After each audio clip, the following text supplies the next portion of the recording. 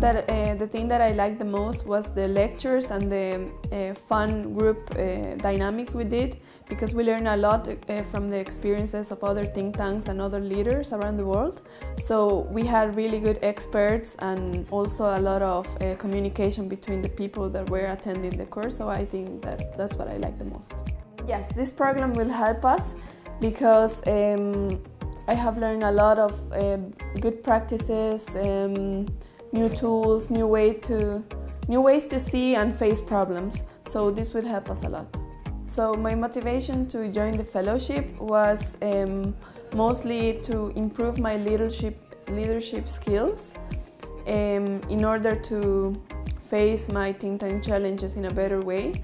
Also, like more ambition. Uh, also, I would say to to be a better person and to be um, prepared for changing also the problems and issues in my country. So this would be my motivation.